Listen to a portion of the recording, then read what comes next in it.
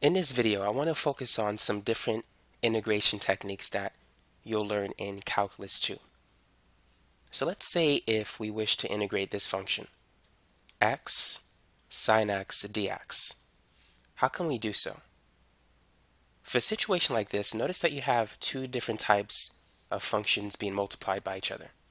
A linear function, x, and a trigonometric function, sine x. When you see two different components being multiplied like this, you could use something called integration by parts. And the formula goes like this. The integration of u dv is equal to u times v minus the integral of v du. So we'll need to know what u and what dv is. What we're going to do is we're going to make u equal to x.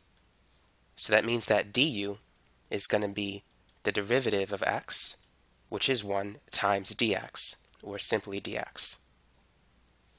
Now, dv is going to be sine x with the dx as well.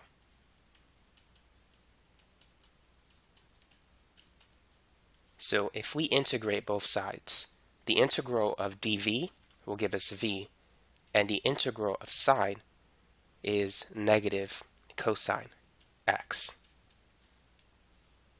Now that we have this, we can use the right side of this equation. So let's go ahead and plug in everything. So the integral of x sine x dx is going to be u times v. So we know u is x, v is negative cosine x.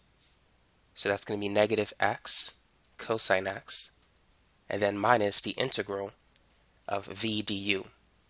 So v is still negative cosine x, and du is equal to dx. So at this point, we no longer need this information. So let's go ahead and get rid of that. And let's simplify the expression that we now have. So we have two negative signs, which we can make that a positive sign. And the antiderivative of cosine x we know it's sine x.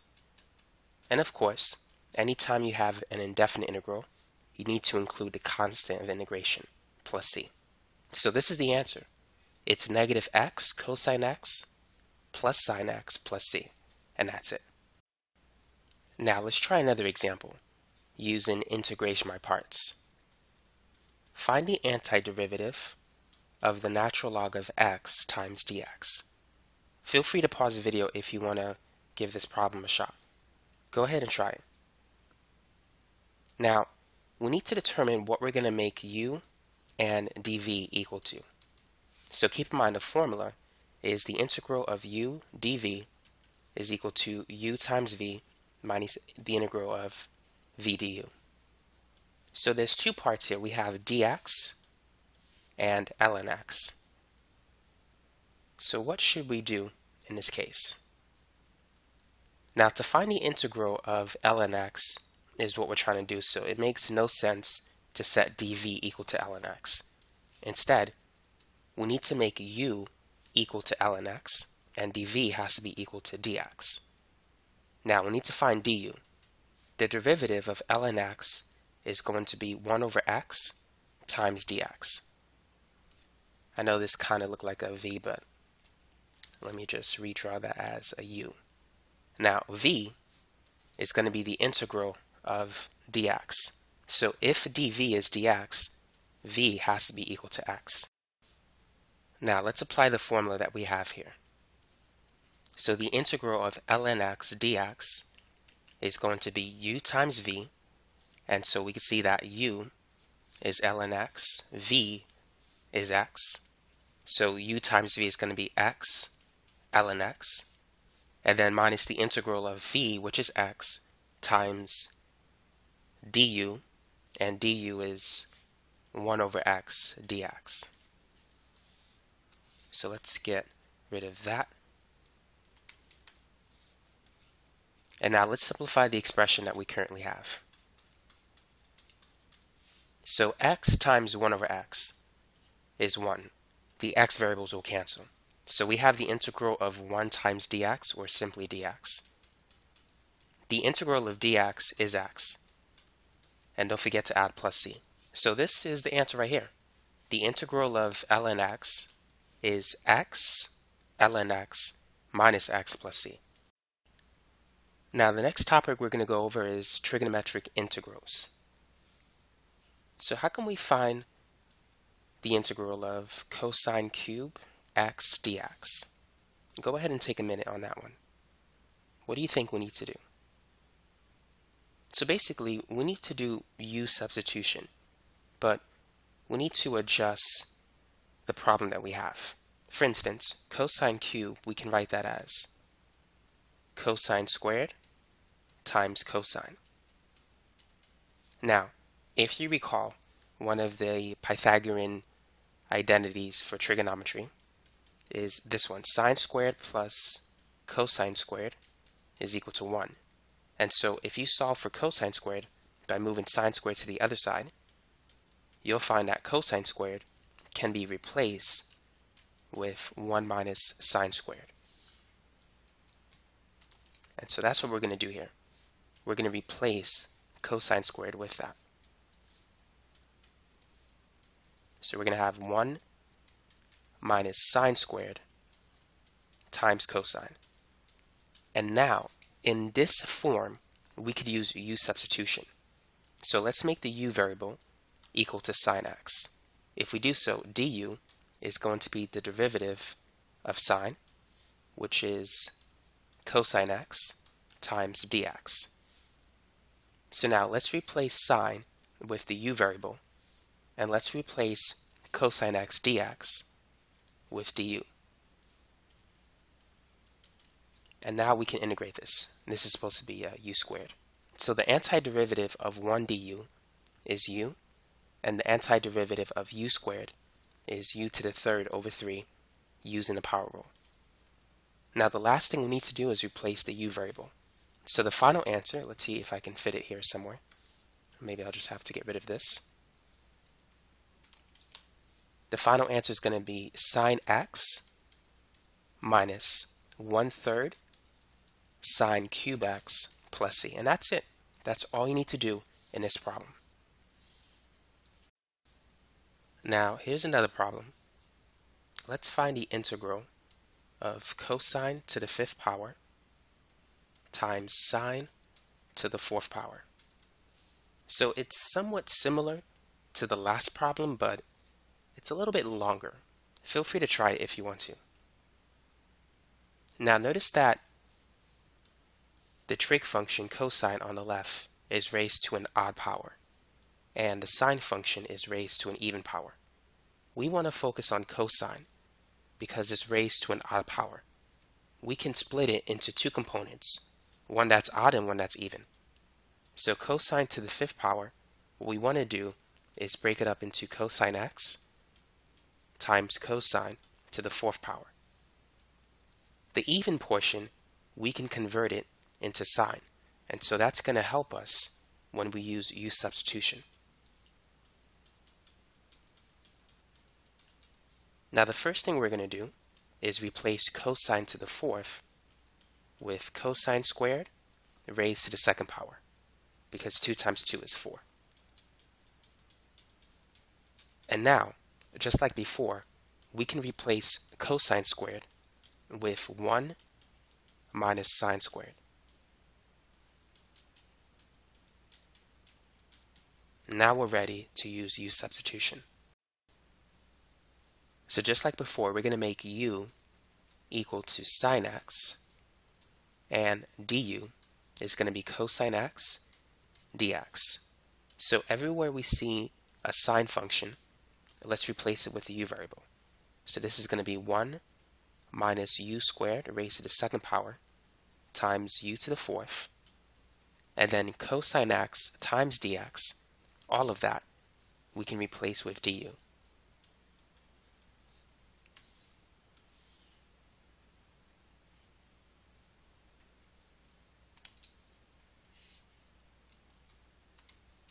So now at this point, what we need to do is FOIL this expression.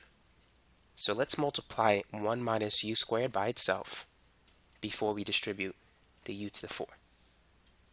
And so 1 times 1, that's going to be 1. And then we have 1 times negative u squared. And then negative u squared times 1. And finally, negative u squared times negative u squared, which is positive u to the fourth.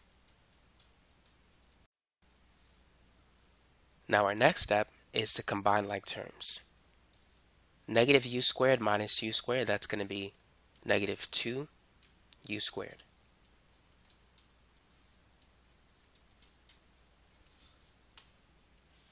Now let's delete this.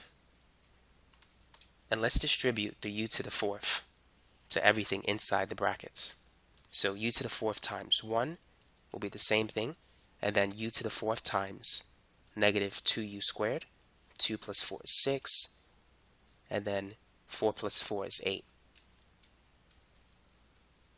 Now let's use the power rule in the next step.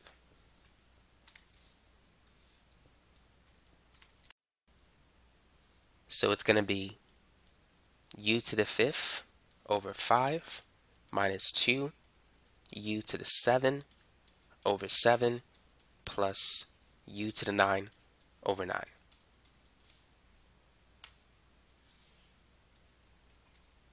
Now the last thing we need to do is replace u with sine x. So the final answer is going to be 1 over 5 sine to the fifth x minus 2 over 7 and then sine to the seventh x plus 1 over 9 sine to the ninth x plus c. And so that's it for this problem. By the way, for those of you who want more examples on integration by parts or trig integrals, feel free to check out my new playlist, my new calculus video playlist. And I'm going to post the link in the description section so you can take a look at that when you get a chance. But in this video, I'm just briefly going over the main integration techniques that you need to be familiar with in Calc 2 for those of you who are going to take it. Now, here's another problem for you. What is the integral of sine squared x dx? Try that one. Now, there's no point replacing sine squared with 1 minus cosine squared. It won't help us. In this particular problem, we can't really use u substitution. So we have to do something different. And this is where you need to know your trig identities, particularly the half angle identity. You need to know that sine squared is 1 half times 1 minus cosine 2x. And so we could replace sine squared with that. Now we can move the 1 half to the front. And so we can rewrite the integral like this. Now at this point, we can integrate the function. So the antiderivative of 1 dx is x, and the antiderivative of cosine is sine, but the antiderivative of cosine 2x is sine 2x, but divided by 2. And I'll explain why. But for now, let's finish this problem. So I'm going to distribute the 1 half. So it's going to be 1 half x minus, and then a half times another a half, that's a fourth, or 2 times 2 is 4. So this is going to be 1 fourth sine 2x plus c. And so this is the answer for this problem.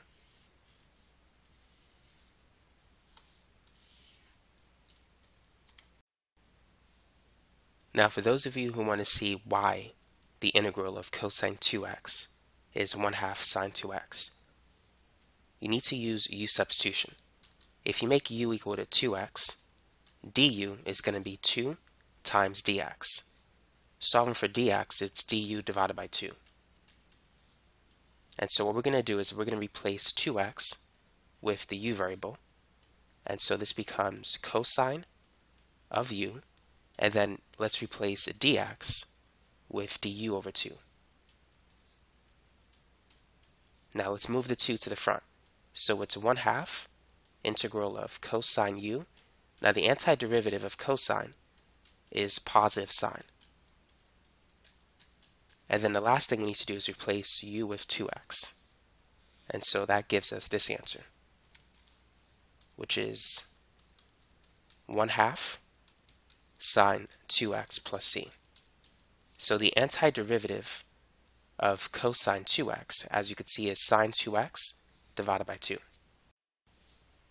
Now let's try a problem with tangent and secant. So let's try this one. Let's find the antiderivative of tangent to the sixth power times secant raised to the fourth power. Now some things you want to keep in mind. The derivative of tangent is secant squared. And also, make sure you know this particular trig identity. 1 plus tangent squared is secant squared. So using that information, what is the antiderivative of tangent to the sixth power times secant to the fourth power? Now we need to make u equal to tangent so that du is going to be secant squared dx.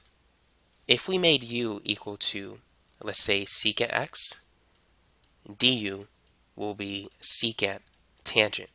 And that will make the situation a lot more complicated than it needs to be. So we're not going to do it that way. Now, we know that the secant squared will disappear, but we have secant to the fourth.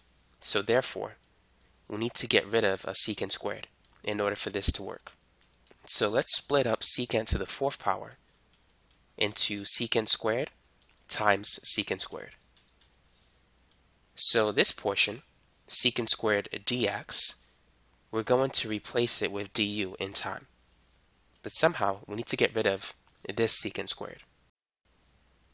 Now recall that we said that secant squared was 1 plus tan squared.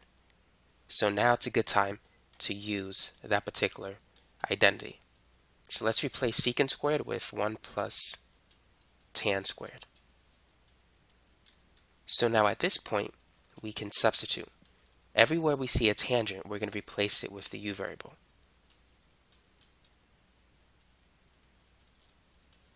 And wherever we see uh, secant squared dx, which is only here once, we're going to replace that with du. So now we need to distribute u to the 6 to 1 and u squared. So this becomes the integral of u to the 6 plus u to the eighth times du. Now, using the power rule, the antiderivative of u to the 6 is u to the 7 over 7. And for u to the 8, it's going to be u to the 9 over 9 plus c. So now let's replace the u variable with the tangent. And so the final answer is going to be 1 over 7 tangent to the 7th power of x plus 1 over 9 tan raised to the 9 power plus c. And that's it. So this is the antiderivative of tangent to the sixth power times secant to the fourth power. Now there's something called trigonometric substitution, another integration technique that you're going to learn in Calc 2. And whenever you see an integration problem in this form, a squared minus x squared inside a square root symbol, you need to set x equal to a sine theta. And the reason for this is because 1 minus sine squared is cosine squared. If you see this form, a squared plus x squared within a root symbol, your substitution will be this. x is equal to a tangent theta. And finally, if you see the square root of x squared minus a squared, you need to set x equal to a secant theta, because secant squared minus 1 is tan squared. So based on that, let's try a problem. Let's find the antiderivative of the square root of 4 minus x squared divided by x squared dx. So we can see that we have a problem in this form. And so 4 is equal to a squared. Therefore, a is equal to 2. Now x has to be equal to a sine theta. So in this problem, x is 2 sine theta, which means that dx is going to be 2 times the derivative of sine, which is cosine, theta, and then d theta. Now x squared is going to be 2 sine theta squared, which is 4 sine squared theta.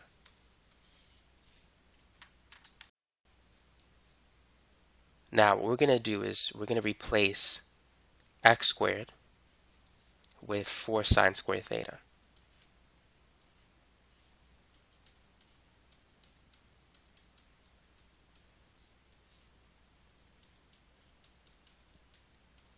And at the same time, we're going to replace dx with 2 cosine theta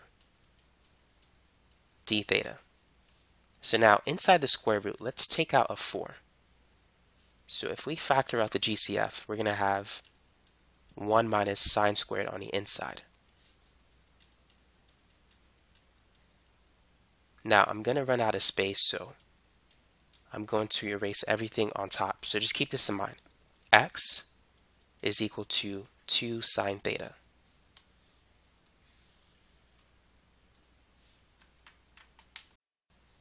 Now the square root of 4 is 2, so we can take out the 2 from the radical. And 1 minus sine squared is equal to cosine squared. So this is what we now have. In the next step, we can take the square root of cosine squared. And so that's, I didn't want that to happen. That's going to be cosine. And so we're going to have 2 times cosine theta times another 2 cosine theta d theta over 4 sine squared theta. Now 2 times 2 on top is 4, which will cancel with the 4 on the bottom. And so we're left with cosine times cosine, which is cosine squared. And cosine squared divided by sine squared is cotangent squared. So what do you think we need to do at this point? What's our next, our next step here? Excuse me. Now recall that 1 plus tangent squared is secant squared. So therefore 1 plus cotangent squared is cosecant squared. Moving the 1 to the other side, we can replace cotangent squared with cosecant squared minus 1. And so this is what we now have. The integral of cosecant squared theta minus 1 d theta. Now what is the antiderivative of cosecant squared? You need to know that the derivative of cotangent is negative cosecant squared. And so the derivative of negative cotangent is positive cosecant squared. So the antiderivative of positive cosecant squared theta is negative cotangent theta. And the integral of negative 1 d theta is simply negative theta. So right now, we're getting close, but we don't have the answer quite yet even though we've integrated or we found the antiderivative of this expression, we still need to replace theta with some x variable. As you can see, this is a very long problem. So let's go back to this expression where x is 2 sine theta. Let's divide by 2. So sine theta is x over 2. And what we're going to do is we're going to make a right triangle and let's do that a little bit better. And so here's theta. Now based on SOHCAHTOA, we know that sine is equal to the opposite side divided by the hypotenuse. So x goes on the opposite side, 2 is the hypotenuse. Now using the Pythagorean theorem, we need to find the missing side. So a squared plus b squared is equal to c squared. And let's say a is the missing side. That means b is equal to x. So b squared is x squared, c squared is 2 squared. So moving x squared to the other side, we'll get that a squared is 4 minus x squared. And taking the square root of both sides, we can see that the missing side is the square root of 4 minus x squared. So now we can figure out what tangent is. Based on SOHCAHTOA, tangent is opposite over adjacent. So it's x over the square root of 4 minus x squared. Cotangent is the reciprocal of tangent. So cotangent is going to be square root 4 minus x squared over x. And we do have a negative sign. Now what about theta? What is theta equal to? Well, we saw that sine theta is x over 2. So theta has to be arcsine x over 2. And so we can replace this theta with that. So we have minus arc sine x over 2 and then plus the constant of integration. So this is the final answer. So that's an example of using trigonometric substitution to find the antiderivative of something. Now, because it's a long problem, I'm only going to do one example in this video. If you want more examples, check out my new calculus video playlist in the description section of this video, or you could subscribe to this channel and check out all the other video content that I have. Thanks again for watching.